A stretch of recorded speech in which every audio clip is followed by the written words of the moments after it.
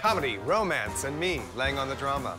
You've just scored an invite to the hottest Hollywood screening of the year. We're dishing all the dirt. Who was sleeping with whom? Who hated whom? Who was too fat to fit in a wardrobe? I was suffering from premenstrual syndrome. You know, the really important stuff. And I'll have everything you need, including fabulous guest stars joining me to talk shop. Go behind the movies and discover the magic that is Hollywood on Cocktails and Classics. Logo's, Cocktails, and Classics premieres April 19th.